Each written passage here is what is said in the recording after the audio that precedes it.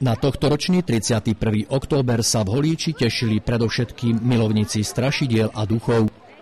Mesto Holíč a Centrum voľného času už po piatý raz pripravili jedno z najúspešnejších podujatí Strašidelnú noc na zámku.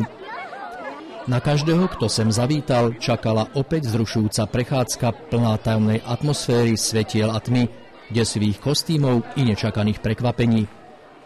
Zámocké priestory poodhalili svet strašidelných bytostí, čarodejníc, duchov a ďalších rozostrašných prízrakov a tajomných postáv. V zámockej kaplnke sa návštevníci stali svetkami hrôzu naháňajúceho sobáša mŕtvej nevesty, na ktorom sa jej ženichom stal jeden z nič netušiacich pánskych návštevníkov. Dnes zámocká kaplnka je úplne tajomná pretože karty osudu sú rozdané a určia našej grófke holíčského pánstva nastávajúceho ženícha. Svoje prekvapenie skrývala aj čínska sála. Umenie, ale i obdiv prítomných priniesla nevšedná hra svetiel a tieňov, smrtonosný tanec. Prechádzka strašidelným zámkom tým však zďaleka nekončila – v jednej z komnát sa o vzrušujúce divadlo postarali krikom a jačaním hrôzu naháňajúce strašiacej čarodejnice.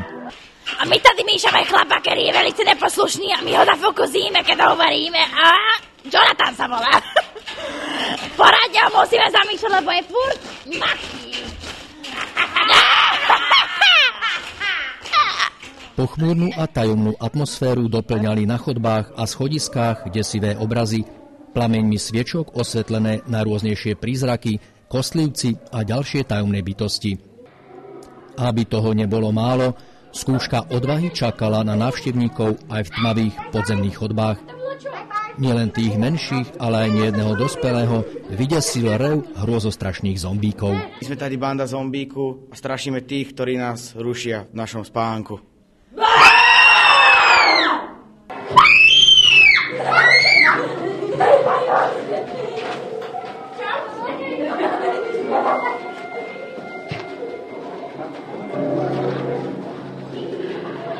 Na všetkých, ktorí sa na holický zámok prišli báť, čakalo ešte jedno prekvapenie. V priestoroch jedného z depozitov ponúkla vzrušujúcu atmosféru znásobenú desivými zvukmi a výkrikmi výstava strašidiel a rozprávkových bytostí pripravili ju členovia Kočovného muzea Strašidiel Plzeň. Dojeli jsme k vám již po druhé, neboť se nám tady nesmírně líbí a lidi, kteří tady vytváří kulturu a starají se o zámek, klobouk dolů, i když ho nemám, tak se klaním, protože to, co tady dokážete pro lidi udělat, je úžasné. V našem strašidlům se tady moc a moc líbí a lidi jsou taky úžasní, až na někteří, kteří zlobí. Ale těch se moc nebojíme, ty klidně i vystrnadíme. V rámci výstavy si záujemcovia mohli zblízka prezrieť na rôznejšie strašidlá v životnej i nadživotnej veľkosti, ale aj v kufroch poukladané miniatúrne strašidelné a rozprávkové postavičky. Aj tu si na svoj prišli všetci, ktorí sa radi ľakajú. Tých menej pripravených vystrašili nehybne sediace či stojace figuríny, ktoré z nenazdajky ožili a nič netušiacemu detskému i dospelému návštevníkovi sa postarali o nečakané prekvapenie. Výstava ponúkla ďalšie nevšedné zážitky, ale tiež originálne suveníry, vrátane rozprávkových knižiek vystavujúceho Kočovného muzea. Přivezli jsme sem expozice z našeho Kočovného muzea strašidel. Někteří se strašidla hýbají, někteří křičí, nadávají, hlučí, blikají. A jsou to pohádky a pověsti z celé České republiky s přesahem i na Slovensko, protože ty naše uh, dějiny jsou velmi podobné, co se pohádek týče a čteme si je napříč asi celým Československem.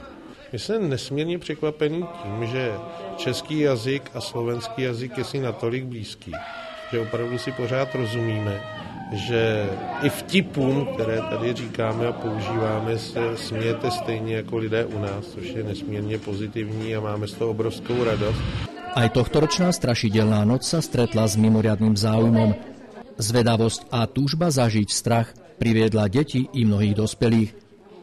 Potešujúce je, že i napriek prebiehajúcim jesenným prázdninám podujatie svojou účasťou v rámci vlastnej aktivity podporili učitelia so žiakmi základnej školy Bernolákova.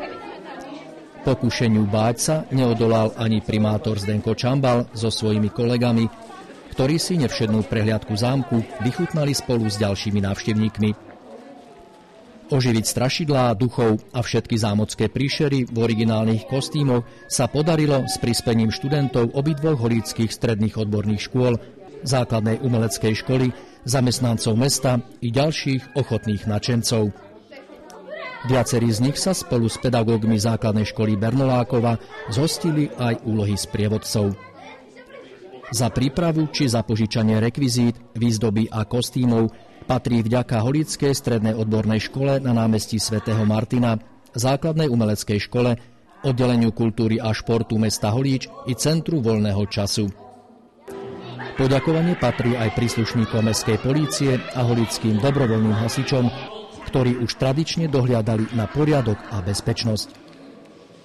Organizátori na záver tiež vyjadrili vďaku Trnavskému samozprávnemu kraju a dvom nemenovaným spoločnostiam za finančnú podporu celého podujatia.